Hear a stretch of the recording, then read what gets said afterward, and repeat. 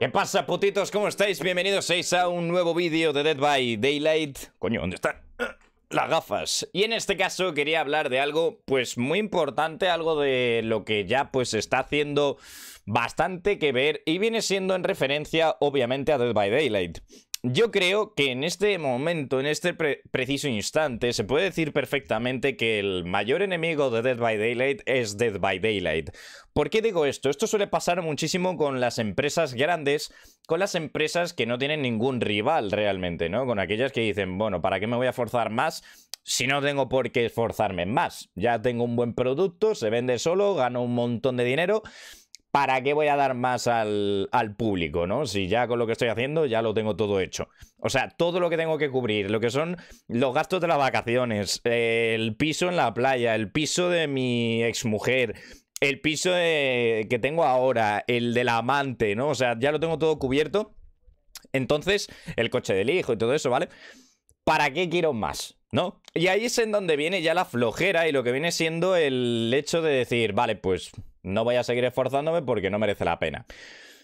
Por eso os digo que el mayor enemigo de Dead by Daylight viene siendo Dead by Daylight, ya que como bien sabéis, o si no lo sabéis, os lo hago saber, Dead by Daylight ahora mismo existen dos, ¿vale? O sea, no es el mismo. Nosotros tenemos la versión de PC barra de consolas, dejémoslo así, y luego tenemos la versión de mobile, ¿vale? No lo considero una consola como tal, pero hay que diferenciarlo, ¿vale? Está la versión de consolas, el general, el nuestro, y luego está la de mobile. Como bien sabéis, si no lo sabéis, os lo cuento, DVD Mobile se separó de Dead by Daylight. O sea, Dead by Daylight le sudaba la polla al DVD Mobile, básicamente. O sea, le sobraron huevos para decir, mira, que no quiero seguir manteniendo esta mierda de videojuego en el móvil, ¿vale?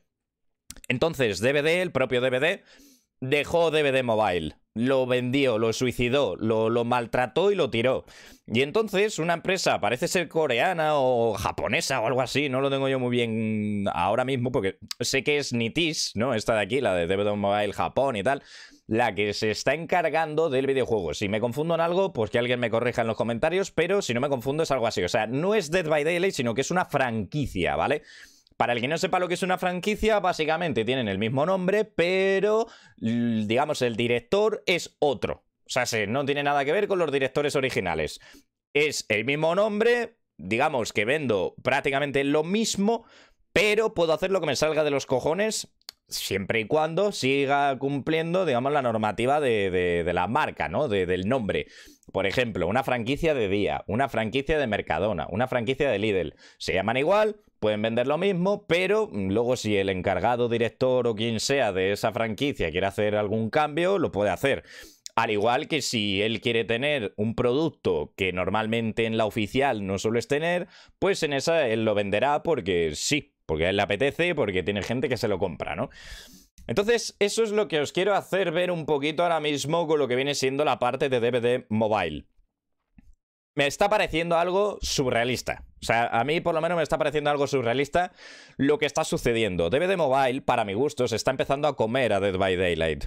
¿Por qué digo esto? Si no sabéis un poco de esto, de lo que ha pasado en las últimas horas y de lo que está ocurriendo ya desde hace varios meses, DVD Mobile está avanzando muchísimo, pero de una forma la cual obviamente Dead by Daylight, el normal, no lo está haciendo. O sea, se DVD Mobile fue un producto que se desechó, la empresa lo cogió y le están dando pues esa imagen que se merecía y le están dando ese cariño que le faltaba. A día de hoy, ahora mismo, van a tener colaboración porque todavía no tenían esta colaboración de Sadako puesta en mobile, pero la van a tener y la van a tener con cosas más extras de las que nosotros tenemos. O sea, se va a venir una Sadako con una skin diferente, obviamente esto es de licencia y es totalmente eh, real, o sea, aquí no hay nada fake, pero esto no significa que lo vayamos a tener nosotros en nuestro juego, ¿vale? O sea, para que entendáis un poco cómo funciona esto. ¿Por qué? Porque el director de la franquicia de Dead by Daylight Mobile ha hablado con lo que viene siendo la empresa de Sadako, o sea, no sé con quiénes son, eh, pues aquí los Kadokawa, esto, Ringu Spiral, ¿no? Ha hablado con ellos y les ha dicho, oye, mira, pues yo soy de Dead by Daylight, pero de la parte mobile. Me gustaría tener esta colaboración con vosotros a nivel de skins.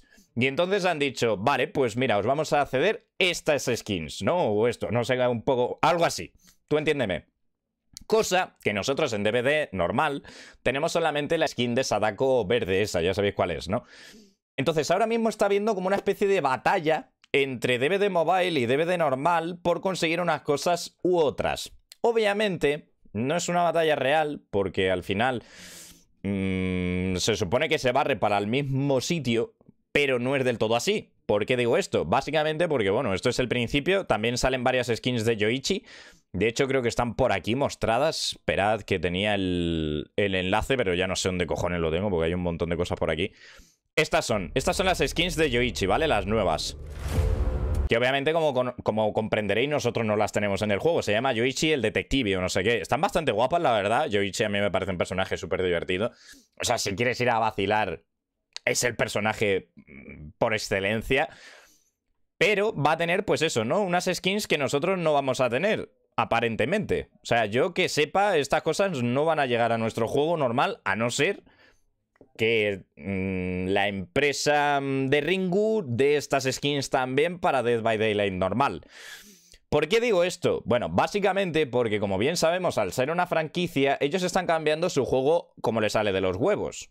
Mm, creo que lo que es la base del juego a lo mejor no la pueden tocar mucho, pero sí que es cierto que están adelantándose haciendo cosas más chulas, ¿vale? Como por ejemplo el tema de los Moris. Para quien no sepa, ya existen nuevos Moris de los asesinos en DVD Mobile. Fueron actualizados, han metido nuevas versiones y lo han hecho de esta manera.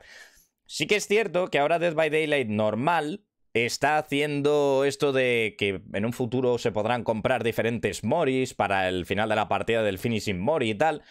Pero yo creo que por esta parte ya estaba DVD Mobile adelantado, ¿no? Como en plan, bueno, nosotros ya vamos desarrollando nuevos Moris y cuando llegue el DVD Final Mori este, pues ya los implementamos en la tienda y que la gente compre los que sea. Tienen nuevas skins que nosotros no tenemos, tienen un montón de cosas realmente disfrutables.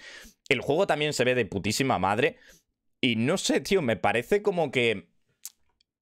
por un lado, esta empresa realmente le está dando cariño a Dead by Daylight y luego el propio Dead by Daylight no le está dando el cariño que se merece al, al juego real, ¿no? Es, es como en plan ver a un grupillo de chavales que viven con ilusión lo que es el desarrollar algo para Dead by Daylight y ver al grupo oficial de Dead by Daylight en plan como hasta los cojones y aburridos, ¿no? De, estar trabajando para DVD. Como, buah, tío, tenemos que hacer skins para Halloween. Buah, es que me da una pereza hacer varias. Mira, le voy a hacer cuatro skins y a tomar por culo, ¿no? Básicamente lo que han hecho en este Halloween. Entonces, no sé, yo sinceramente estoy empezando a ver que DVD Mobile va comiéndose terreno cada vez más a Dead by Daylight. El tema de las. Lo que vienen siendo las estructuras y tal, pues no sabría decirte. Es un poco más como versión de 2016, una cosa así más antigua. Al final también tened en cuenta de que es un juego de móvil. O sea, si mm, no le vas a pedir lo mismo que le vas a pedir a PC. Ya sabemos que el PC está. Eh, bueno, la versión de PC está súper mal optimizada. Pero claro, esto es la base. ¿Vale? Para que, me, para que me entendáis, esta es la base de DVD. Entonces, si por ejemplo en algún caso en el futuro DVD Mobile fuese realmente la empresa definitiva, que, porque yo que sé, los directivos se han aburrido ya, se han cansado o quieren vivir del cuento, ¿no? Básicamente lo que están haciendo ahora. Y dicen, vale, pues os vamos a dejar a vosotros que llevéis el desarrollo de DVD también. Aparte de mobile, que vosotros os, encarguéis de DVD normal. Si esta gente, si esto llegase a ese punto, sería, yo creo que brutal, sinceramente. ¿Por qué? Porque tenemos a gente que se lo está currando muchísimo en el videojuego, están teniendo una base muy limpia. El juego está bastante guapo, no sé si conocéis un poco de DVD Mobile, yo tampoco que sea un experto, ¿vale? Pero para ello, pues he preguntado, en plan como, oye, ¿el DVD de móvil tiene algo malo? En plan, ¿hay alguien que le saque peros o quejas o algo así? No hay penalización de disconnect. Yo esto lo entiendo, ¿vale? Pero hay un motivo de que no haya penalización de disconnect. El árbol de sangre tiene sentido. El árbol de sangre, para el que no lo sepa, es una tienda, ¿vale? Si tú vienes a mm, árbol de sangre DVD mobile. Si tú vienes al árbol de sangre, es como una especie de tienda, literal. O sea, tú entras, compras las cosas y a tomar por culo. ¿Sabes? O sea, no tiene nada más que hacer. Simplemente es comprarlas. Es una tienda. Tú entras y compras las cosas. ¿Sabes? O sea, que está bien pensado y es lo que nosotros deberíamos tener desde hace ya un huevo de tiempo. Pero bueno, no les apetece desarrollarlo para PC. Sino que la gente de mobile dijo, bueno, pues esto sí que lo vamos a dejar así. De hecho, creo que esto ya venía del pasado, pero no sé si esta gente lo mejoró o no. Pero bueno, es una tienda normal y corriente, con sentido. Tiene los moris nuevos, skins nuevas. ¿Qué le falta a ese juego para en un futuro superar al de PC? Y aquí me contesta Boogie, que como bien sabéis, Boogie TV es la persona que vino desde la parte de DVD Mobile, porque él se encargaba de hacer, pues eso, reviews de móvil y cosas así, y jugaba a DVD Mobile un montón, pero luego se decidió pasar a lo que viene siendo la plataforma de, PC. Y dice, tiene algo mejor que no penalización. Si te salís, deja un bot en tu lugar y si vuelves a entrar te vuelve a meter. ¿Por qué no tenemos esto desarrollado en el propio videojuego normal? Digo yo, ¿sabes? Si alguien tira del cable, si alguien eh, yo qué sé, decide salirse pronto o se le cae la conexión, ¿por qué no aparece un bot?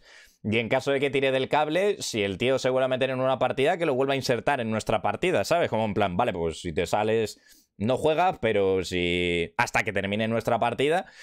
Y si no, pues eh, te jodes y tienes que seguir jugándola, ¿sabes? Estás obligado. Que esto también motivaría mucha más gente a suicidarse en el gancho.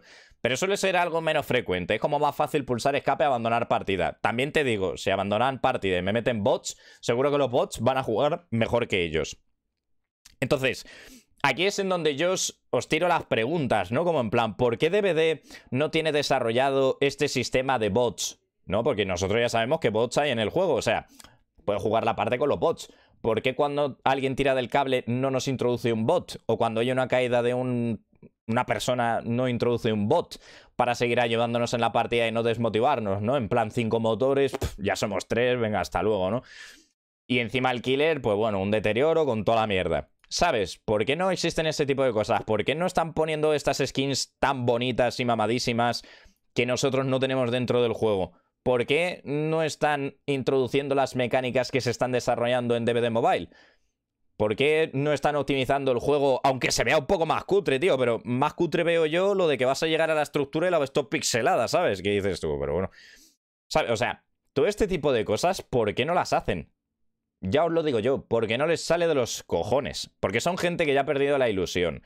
Son gente que te dicen que estamos desarrollando las cosas para dentro de tres meses. Por cierto, si os fijáis en el mapa del trigo, tiene muchísimo más sentido el trigo porque no está ahí un trigo, dos trigos, tres trigos, ¿sabes? Como si los hubiesen plantado ahí todos en línea, tío, ahí colapsando lo que viene siendo la imagen. Que eso ya hemos dicho muchísimas veces, incluso los creadores de contenido, que eso mm, jodes el OBS porque te pasas de bitrate, ¿sabes? Toda la información que tiene que mandar te pixela el streaming sí o sí, aunque tengas dos PCs. Y aquí, sin embargo, en mobile, ¿qué han hecho? Pues lo han dejado con menos trigo, ¿sabes? trigo más eh, normal, yo qué sé, pues una plantita, otra plantita, ¿sabes? Que aún así sigue siendo trigo, pero coño, que no se ve como lo otro, tío, que, que está todo plagado, que es que no tiene sentido no sé, cosas así que son como más inteligentes de hacer, ¿no? Como más normales de decir. O el mapa, si os fijáis, no tiene ese brillo amarillo, porque sí que es cierto que es la versión antigua, pero no tiene ese brillo de mierda que tiene ahora el, el, mapa del trigo, tío, que yo tampoco lo entiendo. ¿Por qué cojones el mapa es tan amarillo? Todas esas cosas, ¿por qué? ¿Sabes? ¿Por qué no las hacen? Porque no les apetece. Son gente que ya ganan un pastizal con lo que han hecho. Son gente que ya está sentada en su trono que ya tienen el monopolio de lejos. Que ahora les están saliendo nuevos proyectos de otras empresas mm, pioneras de videojuegos como Silent Hill ahora mismo, ¿no? Que está Behavior en colaboración con Silent Hill para hacer un, juego. Eh, no les apetece, ¿sabes? O sea, no quieren invertir más. De hecho, nada más que hay que mirar este Halloween en el que han puesto cosas que no tienen sentido con Halloween, sinceramente, salvo las calabazas para patearlas y lo que vienen siendo las ofrendas y poco más, ¿sabes? O sea, cuatro skins que les costaba muchísimo hacer 8 o 10 o, 12 o 16, ya ves tú, si es para sacar dinero, ni, que estuvieses trabajando por amor al arte, estás trabajando porque te están pagando y encima te van a pagar más por lo que estáis haciendo, pero no tiene sentido, sinceramente. Desde mi punto de vista, DVD normal está cada vez peor y DVD mobile está empezando a destronar al DVD normal. Bajo mi punto de vista, ¿eh?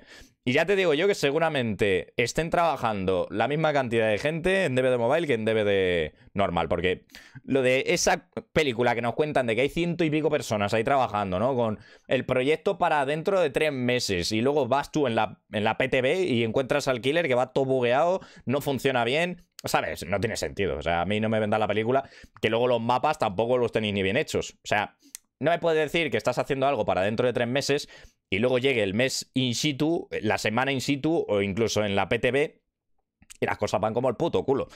No me lo creo. Yo sinceramente eso no me lo creo. O sea, esa película que se la cuenten a otro porque yo no me la creo.